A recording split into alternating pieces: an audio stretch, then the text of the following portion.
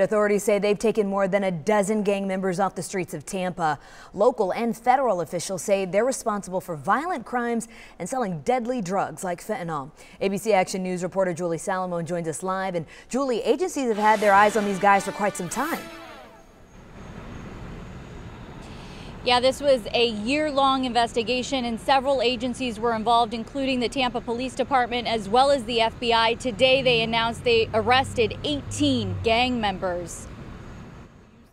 The FBI, Tampa Police Department, and U.S. Attorney's Office announcing Tuesday afternoon they arrested 18 members of the Bird Gang. Officials say those people sold drugs in the Bay Area, including out of this house on North Nebraska Avenue. They've committed crimes stemming from uh, simple assaults to shootings to drug transactions, robberies, and even several homicides. These arrests were the result of a year long investigation focusing on the drug trafficking organization. That include heroin, fentanyl, oxycodone, cocaine, and crack cocaine. In fact, 100 grams of fentanyl were seized in this operation today.